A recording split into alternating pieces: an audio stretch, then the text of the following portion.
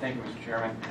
Good morning. At this time, I'd like to call Georgia Power's panel on rebuttal, Mr. Kyle Leach, Mr. Harry Rozier, Mr. Larry Legg, and Ms. Allison Brown, docket number 36498, Georgia Power Company's 2013 Integrated Resource Plan application for decertification of Plant Branch Units 3 and 4, Plant McManus Units 1 and 2, Plant Kraft Units 1 through 4, Plant Yates Units 1 through 5, Plant Boulevard Units 2 and 3, and Plant Bowen Unit 6.